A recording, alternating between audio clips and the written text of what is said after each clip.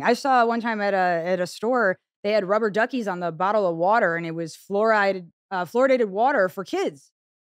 Yep. What are we doing? Again with the three-letter organization, go on their site, look at what it does. They, like it's unbelievable to me that we're saying these things and doing these things because it's blatantly right in front of us.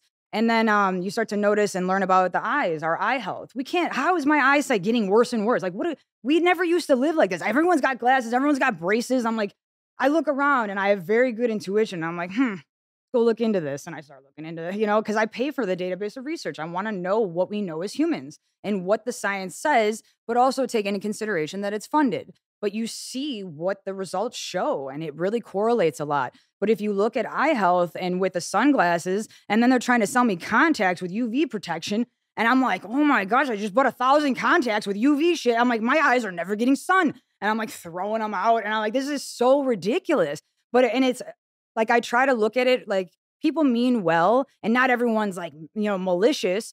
But when the system is just doing it, people kind of fall in line and they become conditioned to do it. I'm one of the ones that always says, I took an oath.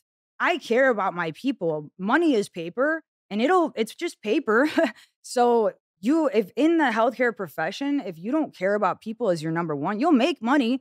You're good at what you do. You'll make money. You don't have to scam people. But I just like seeing people just fall to the system where they just fall in line, even with what they're doing now there's research out now from those three letter organizations that shows what's happening. A million people, their periods were Im- impacted by certain things. A million.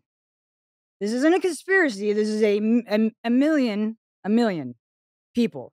So it's like we need to wake up and realize, even altogether, people are important and human beings should be at the center of everything. Just any kind of living being should care.